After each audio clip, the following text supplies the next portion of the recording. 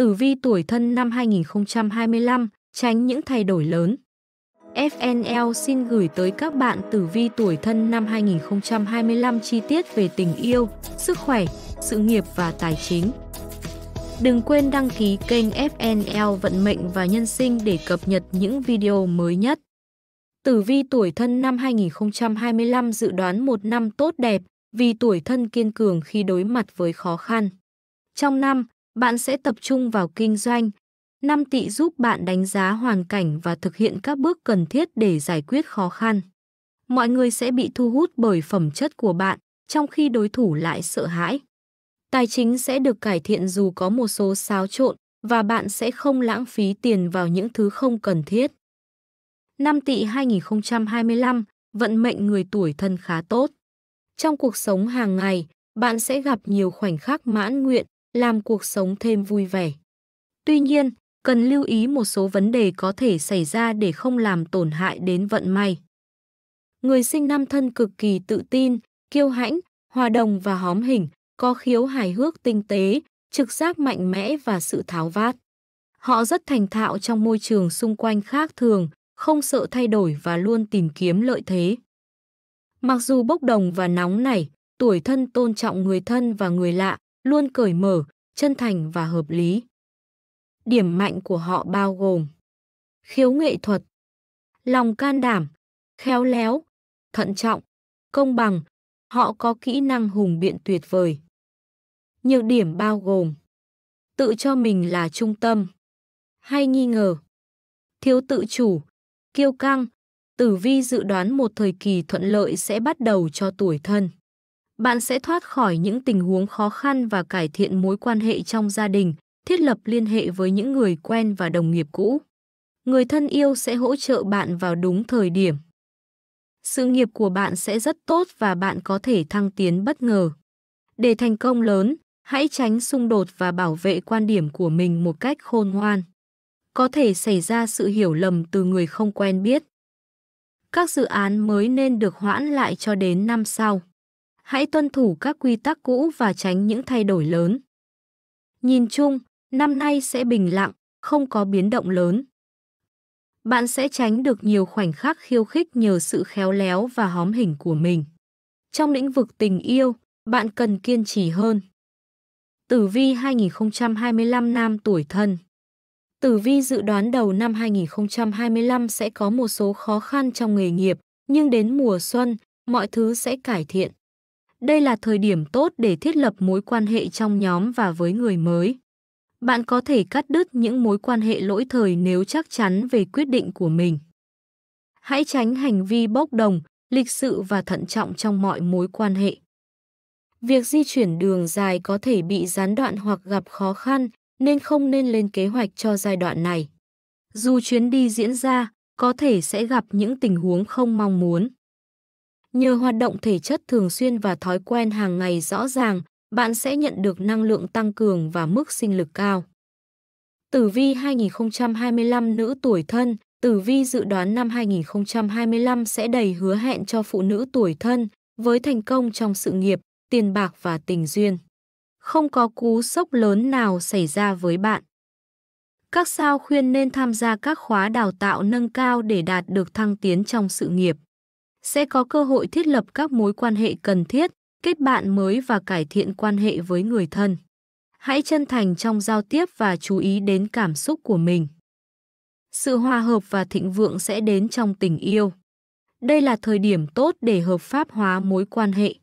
Những phụ nữ độc thân có thể gặp người đàn ông lý tưởng và phát triển mối quan hệ nhanh chóng nhưng bền vững. Gia đình tuổi thân sẽ tận hưởng hạnh phúc.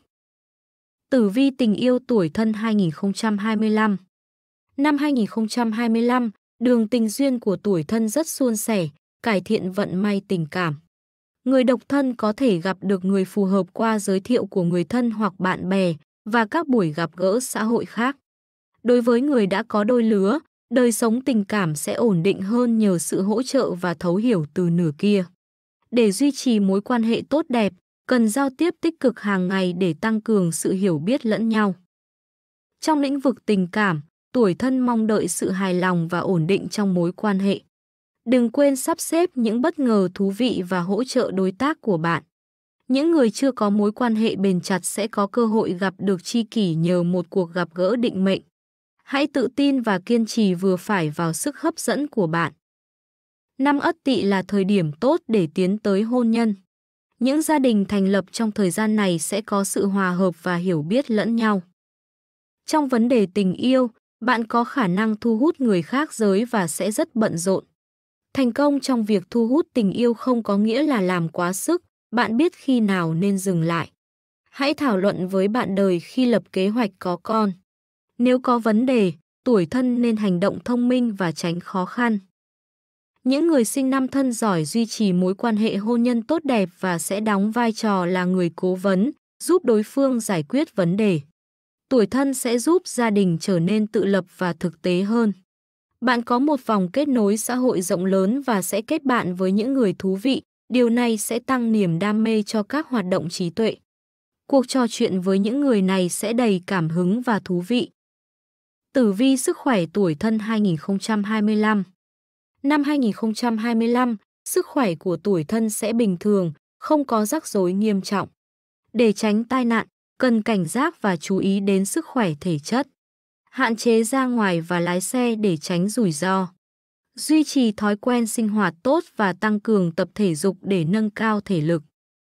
Cơ thể có khả năng chống lại virus theo mùa. Nên tuân theo các biện pháp phòng ngừa tiêu chuẩn để tăng cường hệ miễn dịch. Năm này là thời điểm tốt để tiếp tục hoặc bắt đầu hoạt động thể chất. Chọn môn thể thao phù hợp để mang lại lợi ích và niềm vui. Bổ sung việc tập luyện bằng đi bộ thường xuyên trong không khí trong lành.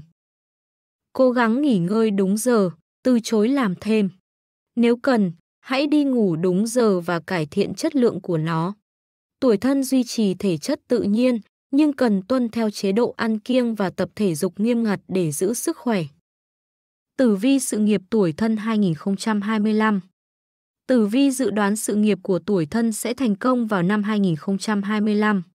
Những người chờ đợi sự thăng tiến sẽ nhận được nó, trong khi những người khác sẽ có sự ổn định trong công việc. Hãy kiềm chế cảm xúc và tuân thủ quy tắc.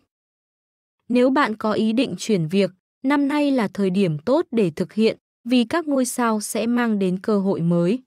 Đây cũng là thời điểm tốt để giải phóng tiềm năng sáng tạo, nhưng đừng thay đổi cuộc sống hoàn toàn. Những người lãnh đạo có thể đối mặt với thử thách, nhưng đừng nản lòng trước khó khăn. Hãy cố gắng giải quyết xung đột trong nhóm, điều này sẽ giúp bạn mạnh mẽ hơn và đạt được thành tựu. Những sở thích có thể mang lại lợi nhuận tốt trong tương lai. Tuy nhiên, không nên tham gia vào các dự án mà bạn không hiểu rõ chỉ vì mục tiêu tài chính, năm nay sẽ không thuận lợi cho điều này. Công việc của tuổi thân năm 2025 sẽ ổn định. Họ sẽ nhận được sự giúp đỡ khi gặp khó khăn, giải quyết khủng hoảng và tháo gỡ chướng ngại. Những người khởi nghiệp sẽ được đối tác truyền cảm hứng và động lực. Hãy dám theo đuổi ước mơ, bạn sẽ có cơ hội thăng chức, tăng lương. Tuy nhiên, cần học cách giải tỏa căng thẳng và điều chỉnh cảm xúc. Bạn có thể đối mặt với tranh giành quyền lực, sử dụng trí tuệ và cách tiếp cận hóm hình để giành chiến thắng. Dựa vào đồng nghiệp để được tư vấn và hướng dẫn. Có thể có những lời mời làm việc hoặc thăng tiến đáng ngạc nhiên. Tử vi tài chính tuổi thân 2025 Vận may tài chính của tuổi thân năm 2025 không lạc quan. Có nguy cơ mất tiền, nên cần thận trọng trong chi tiêu. Tránh các phương pháp quản lý tài chính và đầu tư rủi ro cao. Đừng dễ dàng tin vào lời khuyên của người khác để không bị lừa dối. Duy trì lối sống tiết kiệm và lập kế hoạch tài chính hợp lý. Dòng tiền sẽ không phải là vấn đề lớn. Hãy sử dụng tiền một cách khôn ngoan và tiết kiệm cho tương lai. Đầu tư thận trọng, tránh các dự án chưa được thử nghiệm. Kiểm soát ngân sách và quản lý khôn ngoan số tiền kiếm được. Đừng quên nuông chiều bản thân trong kế hoạch chi tiêu. Sự thăng tiến trong nghề nghiệp sẽ tác động tích cực đến tài chính, nhưng cần làm việc chăm chỉ và nâng cao kỹ năng. Năm nay, bạn có thể thực hiện những ham muốn vật chất, đặt mục tiêu và tiến từng bước nhỏ để đạt được. Thành công sẽ đến, không còn nghi ngờ gì nữa. Hãy cẩn thận khi đi du lịch xa, đặc biệt vào mùa hè. Nếu có thể, Hoãn chuyến đi để tránh rủi ro. Hãy thận trọng với nguy cơ cao trở thành nạn nhân của những kẻ lừa đảo. Cảm ơn các bạn đã xem video.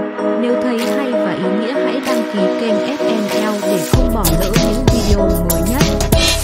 Chúc các bạn một năm mới Ất Tỵ 2025 nhiều hạnh phúc, thịnh vượng và thành công.